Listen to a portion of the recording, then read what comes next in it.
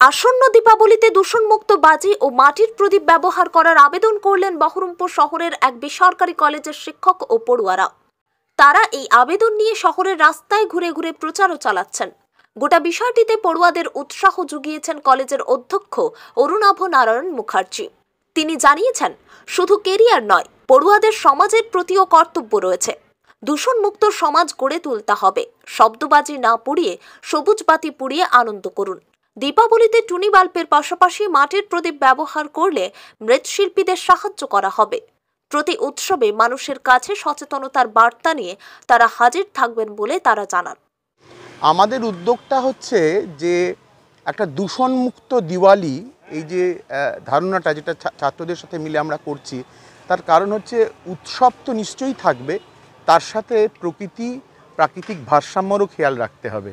এবং আমাদের ছাত্ররা বহরমপুর সায়েন্স অ্যান্ড ম্যানেজমেন্ট কলেজের ছাত্ররা শুধুমাত্র পুঁথিগত বিদ্যা বা কেরিয়ারিস্ট এডুকেশনের মধ্যে নিজেদের সীমাবদ্ধ করে রাখে না।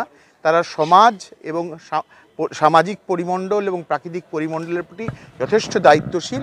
সেই জন্য তারা আজকে এই উদ্যোগ, এই ক্যাম্পেইন বা এই প্রচারটি করছে। কি কাজ করছেন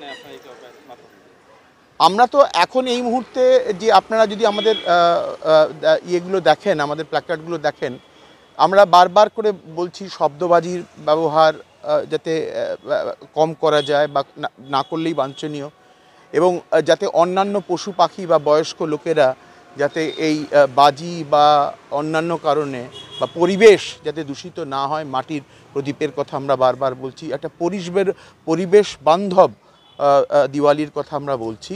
At the same point of time আমরা এটাও বলছি যে, কারও কারও উৎসব, কারও কারও অন্ধকার যেন না হয়।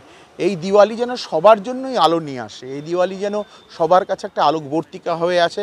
সম মানে যেভাবে আমরা আজকে উৎসব করছি, সেভাবে সমাজের যে স্তরের মানুষেরা উৎসব করতে পারেন না, তারাও যেন এই উৎসবে সামিল হন। এটাই আমাদের বক্তব্য। এই প্রসঙ্গে আমি এটাও বলে রাখি, যেটা হয়তো আগে বলা হয়নি বা আগে সেটা রিপোর্টেড হয়নি। আমাদের ছাত্রছাত্রীরা বা আমাদের কলেজের থেকে আমাদের পূজা নামে এই বছরের পূজা একটি অনুষ্ঠান করা হয়, সেটা আমাদের ফেসবুকে বা বিভিন্ন জায়গায় গেলেই পাওয়া যাবে, যেখানে আমাদের ছাত্রছাত্রীরাই স্থানীয় দুস্থ দুস্থ বলব না আমি দরিদ্র কথাটা বলতেও চাই না মানে আমি বলব আন্ডার প্রিভিলেজ যারা, যাদের কাছে উৎসব পালন করার মতন অর্থ বা সামর্থ্য নেই, তাদের মানে আমাদের কলেজ ক্যাম্পাসে এনে খাইয়ে এবং তাদের পরিচর্যা করে তারা তাদের মানে আমি মনে করি অত্যন্ত নিষ্ঠার সাথে তাদের সামাজিক কর্তব্য পালন করেছে।